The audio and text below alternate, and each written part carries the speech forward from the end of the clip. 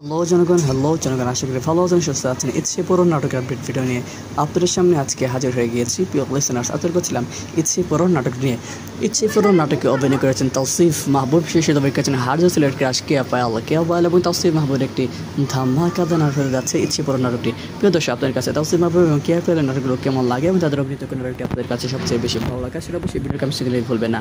পরবর্তীতে নতুন কোনো নাটক না আজের কোনো ডাটা